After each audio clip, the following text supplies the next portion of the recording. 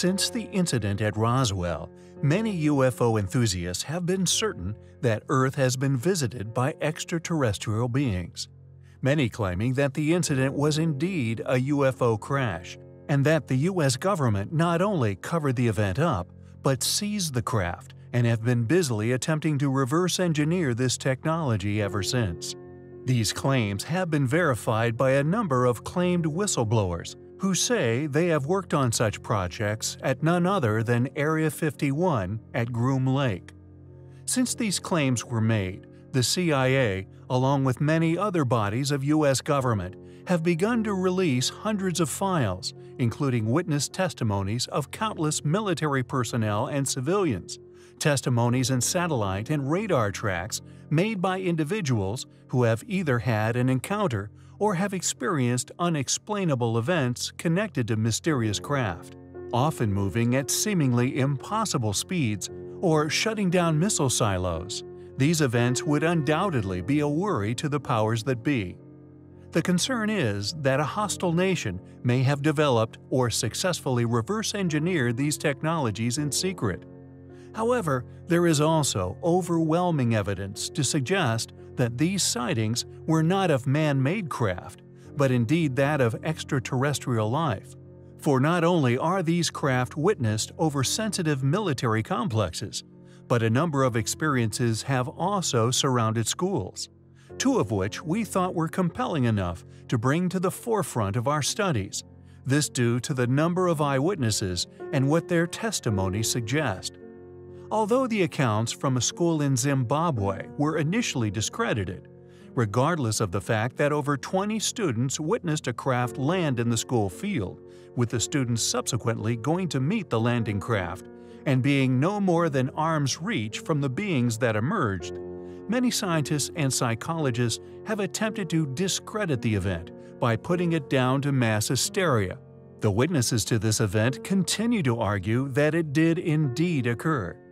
Furthermore, supporting their claims, other encounters have been experienced at other schools around the globe.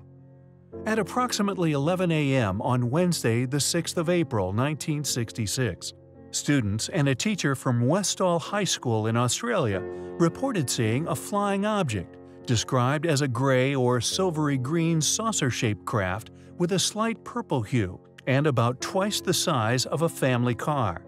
According to the students, the object was descending, overflew the high school, and disappeared behind a stand of trees. Approximately 20 minutes later, the object reportedly reappeared, climbed at speed, and departed towards the northwest.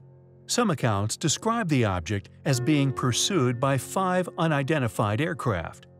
Thanks to these, and thousands, possibly millions of other testimonies from people of countless disciplines, the acceptance that these craft exist has been forced upon the U.S. government and other governments globally.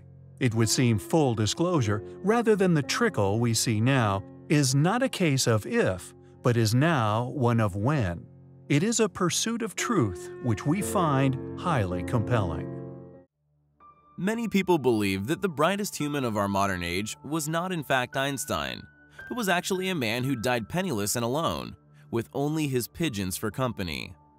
A man who went by the name Nikola Tesla. When Einstein was once asked how it felt to be the smartest human being on Earth, he famously retorted, I don't know, you will have to ask Nikola Tesla. Throughout Tesla's life, he invented many things which have been of tremendous value to humanity.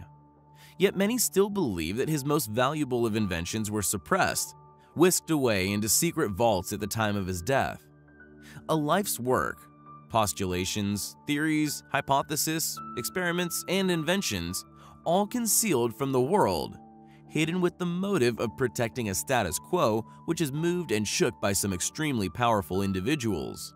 Individuals whose empires have slowly but surely gained a stranglehold upon the resource distribution, and indeed the technological advancement of mankind as a whole. Technological advances in communication and travel have only extended these tentacles of control across the globe. Nikola Tesla often spoke of an invention which he claimed would save the world, a machine making energy free for all.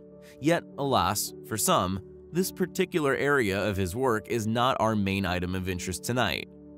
but rather his possible experience of a close encounter with aliens and his subsequent invention, which became famously known as an IFO. He eventually gained a patent on the peculiar aircraft which he called the world's first flying saucer.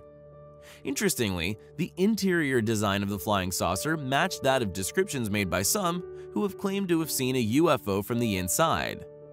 With a discoidal capacitor that he believed was of sufficient enough to provide enough thrust for the craft to fly.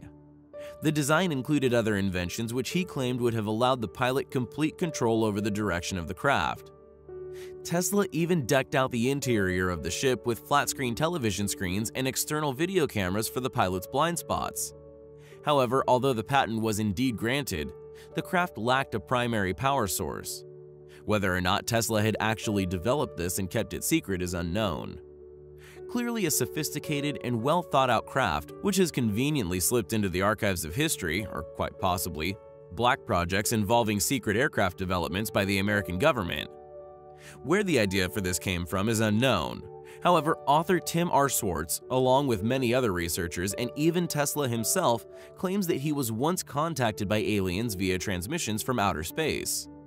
According to Swartz's book, The Lost Journals of Nikola Tesla, Tesla at one point was developing a powerful radio antenna designed to monitor thunderstorms in Earth's skies.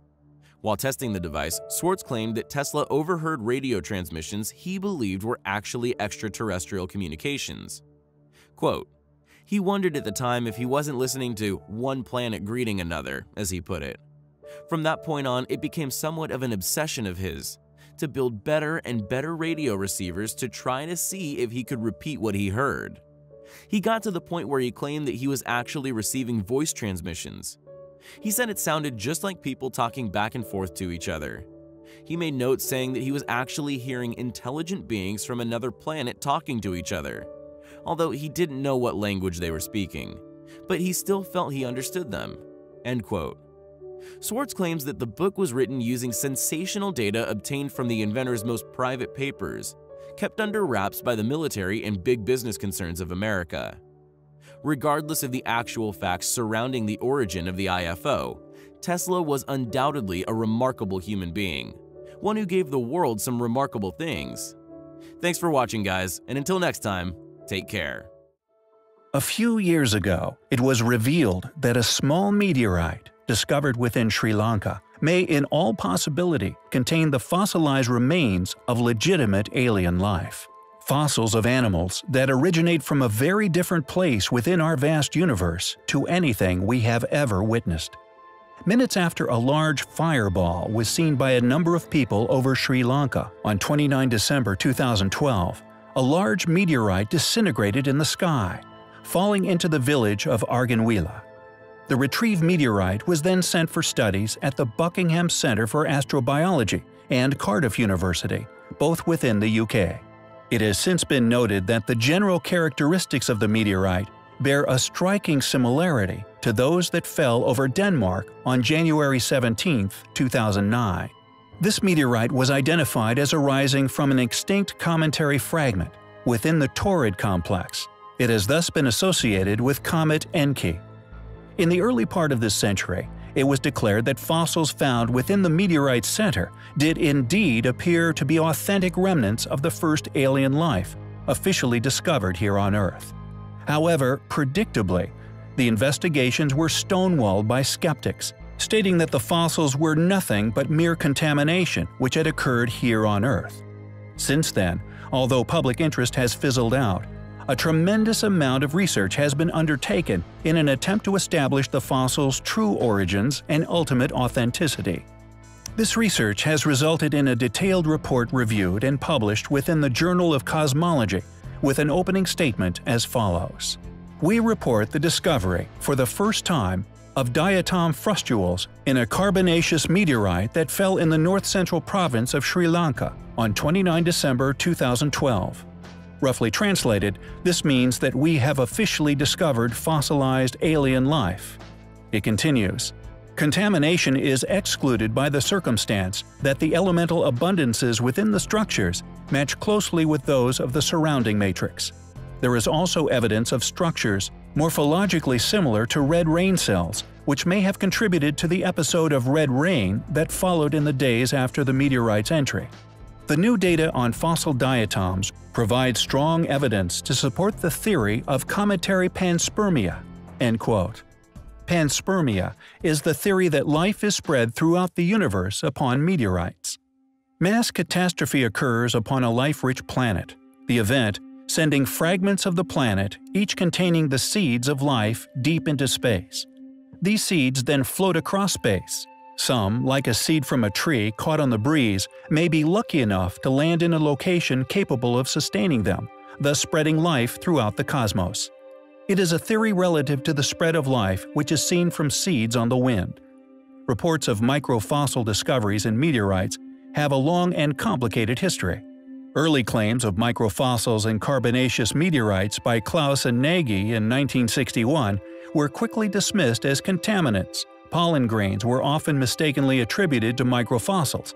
However, this new study, and the evidence thereof, is now undeniable. And although these tiny creatures are so small they cannot be seen by the naked eye, they harbor the power to impact all of our perceptions about our universe in a profound way. They will inevitably shape our Earth, and indeed acceptance of the fact that we are, officially, not alone.